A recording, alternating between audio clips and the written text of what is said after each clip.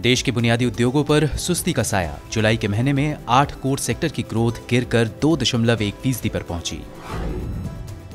पूर्व वित्त मंत्री पी चिदम्बरम तिहाड़ जाने से बचे जमानत याचिका पर आज सुप्रीम कोर्ट में सुनवाई।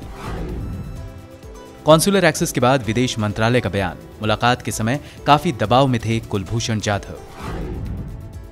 विदेश मंत्री एस जयशंकर ने कहा, आतंकवाद का खुलेआम इस्तेमाल कर रहा पाकिस्तान, बातचीत की कोई गुंजाइश नहीं। एनआरसी की अंतिम लिस्ट से बाहर लोगों को कानूनी मदद की तैयारी। 200 नए फॉरेनर्स ट्रिब्यूनल्स बनाए जाएँगे।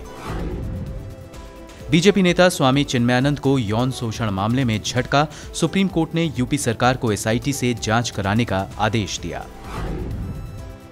मिड डे मील में नमक रोटी खाते बच्चों का वीडियो बनाने वाले पत्रकार पर यूपी पुलिस ने एफआईआर दर्ज की, पत्रकार बोला, प्रताड़ित कर रही है सरकार। घरेलू हिंसा मामले में क्रिकेटर मोहम्मद शमी के खिलाफ अरेस्ट वारंट जारी, सरेंडर के लिए 15 दिन की मोहलत।